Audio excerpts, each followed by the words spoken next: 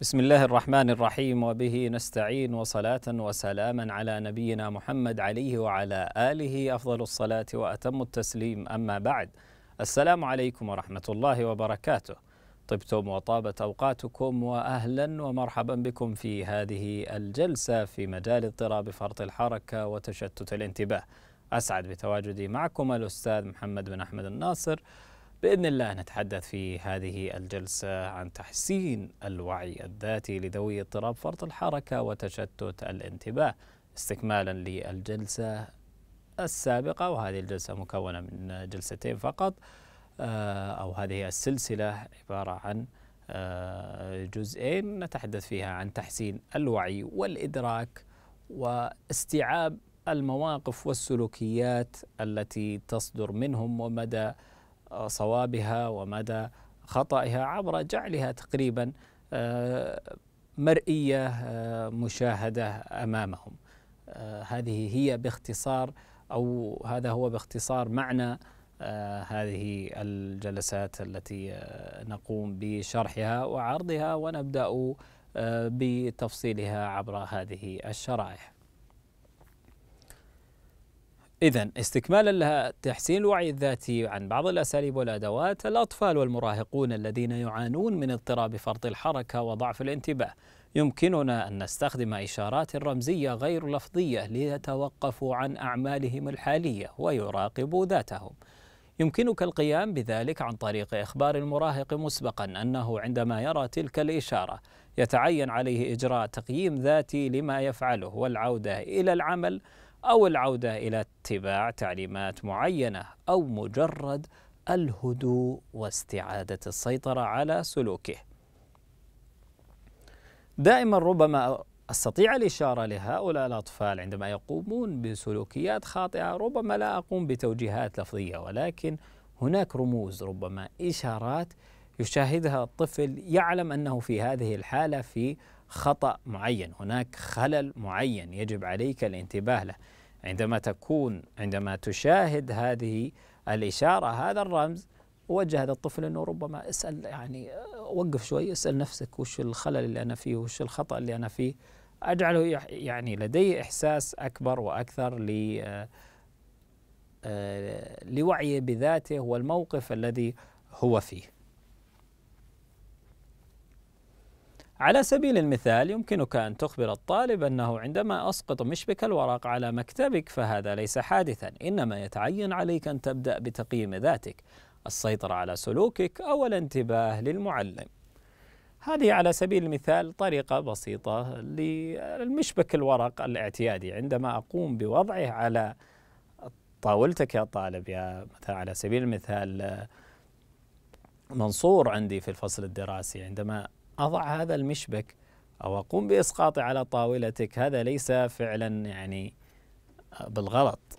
مريت من عندك وطاح المشبك أو مشبك الورق. أقوم بتعليم هذا الطفل ربما ورقة صغيرة من ورق مقوى حمراء. أقوم بوضعها على طاولة هذا الطفل كذلك. في الأخير هذه الإشارة الرمزية وغير اللفظية تقول للطفل انتبه. ارجع ركز مع المعلم.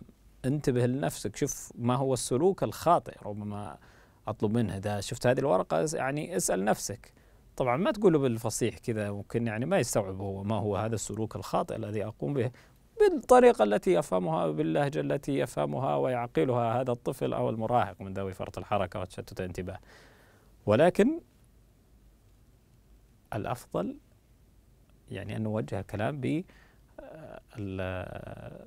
بهذه العبارات الواضحة ليفهمها الجميع وكل من يشاهدنا ثم أتعامل مع هذا الطفل بما يتناسب مع قدراته العقلية واللغوية. يسأل نفسه ما هو السلوك الخاطئ الذي الذي يقوم به الآن؟ وأن عليه استعادة انتباهه ووعيه للمهمة المطلوبة منه أو الانتباه لما يقوله المعلم. كذلك هذه الطريقة جميلة جدا بأن لا أجعل هذا الطفل وبقية الأطفال الآخرين هو يشعر باهتزاز بثقته بسبب اللوم المتكرر. مثلا منصور منصور ركز معنا. منصور وراك ما ركز منصور خليك في الكتاب. منصور اسمعني وش أقول لا يكون الطلبة الآخرين ينتبهون أن دائما اللوم العتاب موجه إلى منصور تقل ثقة منصور كذلك بنفسه. آه، الطلبة كذلك ربما هناك طلبة آخرين يقومون ببعض التصرفات ولكن لا أقوم بتوجيه نفس التوجيهات والنصائح. ربما يرون معاملة خاصة أو انتباه خاص كذلك لمنصور. أنا أكتفي بهذه الإشارات الرمزية لأتجنب جميع هذه المشاكل. إذا هي ستساعدني كثيرا في جعل هذا الطفل يدرك وعيه وكذلك ستوجد آه، لدي الكثير من الإيجابيات في آه، تطبيقها وتجنب العديد من المشاكل مع الطلبة الآخرين ومع الطالب نفسه وثقته بنفسه كذلك. استخدم المؤقت أو المنبه على فترات يحددها المعلم كل دقيقة مثلا واجعله قريبا من الطالب لتنبيه الطفل وتذكيره بمراقبة ذاته. ماذا تفعل الآن؟ أو الانتباه للمهمة الموكلة إليه من قبل المعلم. مهم جدا دائما أن أقوم بوضع مؤقت لشد انتباه الطفل لكل كل فترة. بمعنى كل دقيقة أجعل هذا المنبه يقوم إما عبر الساعة مثلا في في يدك كل دقيقة تقوم بالاهتزاز. عند الاهتزاز مثلا يا منصور انتبه. يعني أو خليك مركز الحين من المعلم ولا عندك آه، هواجيس في شيء ثاني. أو جعلها كل ثلاث دقائق كل أربع دقائق أيا كان الوقت الذي تقوم به بالاهتزاز. أو إصدار صوت خفيف جدا لا يسمعه مثلا إلا الطفل. طبعا الأفضل الاهتزاز سيكون واضح له آه، ويقوم باستعادة تركيزه. عندما يستمع لهذا الاهتزاز أو هذا التنبيه هي ماذا تفعل الآن؟ هل أنت تقوم بالمهمة الموكلة إليك أو سارح في عالم آخر؟ آه هذا هو المقصود بهذا التنبيه وهذه الإشارة. ربما حتى توجد آه أنا سمع يعني سمعت عن هذه ولكن لم أشاهدها أمامي ولكن بالتأكيد هي موجودة ولكن ربما توجد بعض المؤقتات التي تضبط بهذه الطريقة أنها تقوم ب يعني جهاز مخصص للقيام بهذه آه، آه، بهذه الساعة المؤقتة أنها تقوم بالاهتزاز كل دقيقة أو كل دقيقتين على حسب ما تضبطها. تقوم بالاهتزاز باختلاف يختلف عن المنبه بمعنى لا أقوم بوضع منبه كل دقيقتين كل دقيقتين ساعة خمس دقيقة خمس دقيقتين خمس ثلاث دقائق أو خمس وخمس خمس وعشر خمس وعشرين خمس وربع. يقوم بالاهتزاز فيها. بالتأكيد هذا المنبه بالطريقة الاعتيادية. ولكن أظن أنا سمعت عن جهاز يوجد ولكن لا أدري عن تواجده لدينا هنا أو عدم تواجده. يقوم نقوم بضبطه على كل خمس دقائق يقوم بالاهتزاز. آه ثم بعد الاهتزاز يوجه الطفل هذه الأسئلة آه لنفسه أنه هل هو يقوم بالاستماع للمعلم أو في عالم آخر. في الحالات الأكثر شدة من اضطراب فرط الحركة وضعف الانتباه يمكنك أنت أو المرشد أو الأخصائي النفسي في المدرسة التفكير في تسجيل فيديو للطفل خلال المشكلة في فترة الحصة الدراسية بعد التواصل مع ولي أمره. بعد ذلك في وقت لاحق من ذلك اليوم وخلال فترة زمنية محددة يمكن للطالب مراجعة التسجيل معك أو مع المرشد الطلابي وإيقاف الفيديو بشكل دوري لمناقشة سلوك الطفل وما إذا كان من ما قام به صحيح وغير صحيح. إيقاف الفيديو بشكل دوري يعني إيقاف الفيديو بشكل متكرر عند كل سلوك خاطئ يعني كل سلوك خاطئ أقوم آه، بإيقافه.